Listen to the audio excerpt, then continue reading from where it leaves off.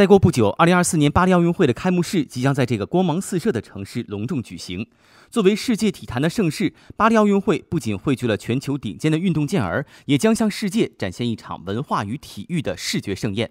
欧洲卫视的记者现在已经深入巴黎市中心的开幕式举办场地，为您带来第一手的现场报道。从记者发回的画面当中，我们可以看到香榭丽舍大街附近的景色，尽显奥运盛世的繁华与热闹。警察和志愿者们井然有序地引导着即将进入开幕式观众席的观众们。沿街的奥运赞助商活动小屋纷纷亮相，为行人和游客提供了丰富多彩的互动体验。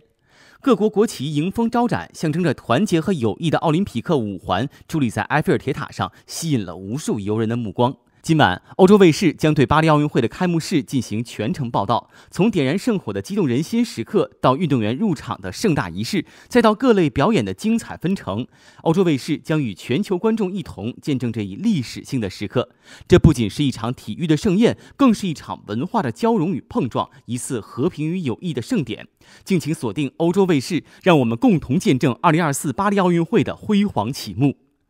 欧洲卫视记者巴黎现场报道。